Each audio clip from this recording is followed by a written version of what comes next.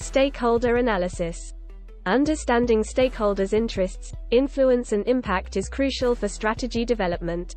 Identify stakeholders, analyze their interests and power, and develop strategies to engage them effectively.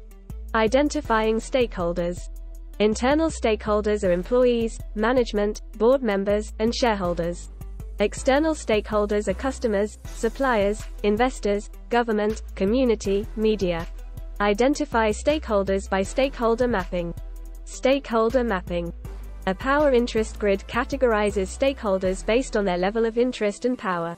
A salience model identifies stakeholders based on power, legitimacy, and urgency. Analyzing stakeholders. What are stakeholders' goals, concerns, and what do they have to gain or lose? Ask how stakeholders could affect strategy. Evaluate both current relationship dynamics and history with stakeholders. Do stakeholder analysis across different contexts. Engagement strategies. Tailor marketing messages for different stakeholder groups. Manage differing interests and expectations.